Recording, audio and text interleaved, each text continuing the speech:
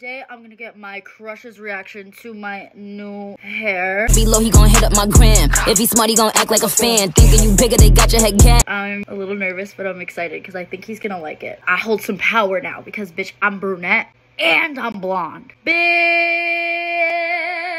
Wish me luck. Yeah. Okay, he's gonna call me now. I think he's gonna call me. Hello? Are you ready to see my hair? Hurry up, show me, show me. show me. Oh my god. It is darker than I expected, but I I, I love it. It's, it's You like it's it? so cute. Yeah. It's cute. Damn, it looks so good. What the fuck? Can I rizz you up with this hair? Like, It's okay. Yeah, it's better than a blonde.